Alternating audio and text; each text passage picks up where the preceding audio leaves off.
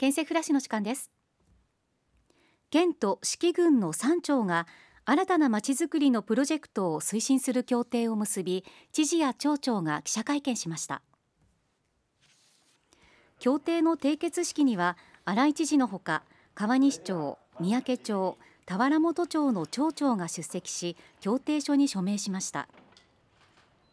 県と3つの町は大和平野中央プロジェクトと題して地域の特性に応じた新しいまちづくりについて話し合ってきました。その結果川西町はまほろば健康パークと連携し田原本町は2031年の国体を念頭に置いたスポーツ施設を核にして健康増進がテーマのまちづくりを進めることになりました。また三宅町は県立大学の新たな学部を軸としたまちづくりを行います。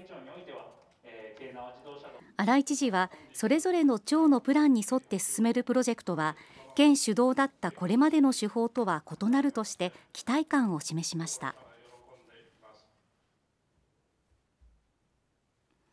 奈良県での開催が内内定している2031年の国体会場について県と橿原市は協議を進めるための覚書を締結しました。締結式には新井知事と橿原市の亀田市長が出席し覚書に署名しました。県と橿原市はこれまで市の橿原運動公園と県立橿原公園を一体と捉えたスポーツ拠点について議論を進めてきましたが橿原市議会では慎重な意見が出ています。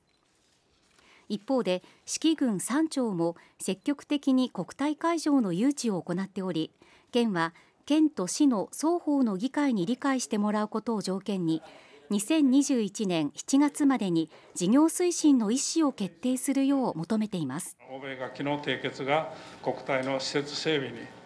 結びつくように心から期待をしたいと思います。この最大のチャンスを生かすべく四季郡三町に負けないようにですね進めていくということもうこれしか今あの考えておりませんのでではお知らせです。県では地域の課題解決を目指す地域フォーラムへの参加者を募集しています。この地域フォーラムは県政に対する県民の方々の理解を深めるため知事や市町村長がパネルディスカッションで地域の課題について意見交換を行います。第1回は7月17日午前10時から三郷町文化センター。第2回は同じ日の午後1時30分からイカルガホールで開きます。テーマは第1回第2回ともに奈良のまちづくりと土地利用の在り方です。県内在住または在勤在学の方が対象で募集人数はいずれの回も130人程度です。参加を希望する方は必要事項を書いて郵送やファックスなどで申し込んでください。締め切りは7月2日必着です。詳しくは奈良県政策推進課までお問い合わせください。近隣府県とともに県内でも新型コロナの感染者が高い水準で確認されており県では緊急対処措置を実行しています。早期の収束を目指して県民の皆様にお願いです。人との接触を減らし感染リスクを下げるため